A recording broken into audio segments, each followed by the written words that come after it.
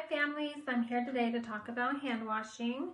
I'm sure you all know if you have a young child, hand washing can seem like a daunting task sometimes, but I'm here to tell you if you can make it into a fun game or a fun song, it'll make it more tolerable for everybody.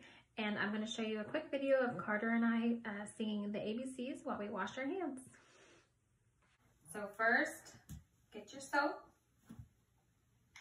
Carter, why do we have to wash our hands? Because so you don't get the germs. So you don't get the germs. What do germs do? Uh, uh, make you sick. They make you sick. So they say you should wash your hands for 26 seconds. That's long enough for the ABC song. You ready to sing your ABCs? Okay. A, B, C, D, E, F, G. That was too Not 20 seconds. You ready to sing again?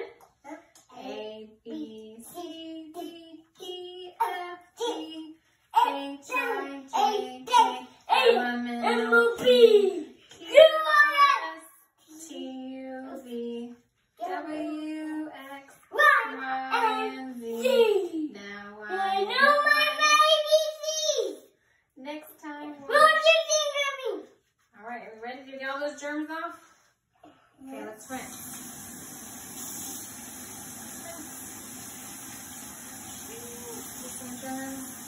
All right. Children should wash their hands after using the restroom, before eating or handling food, after touching a pet, and after sneezing or coughing. And also remember that babies benefit from hand washing also.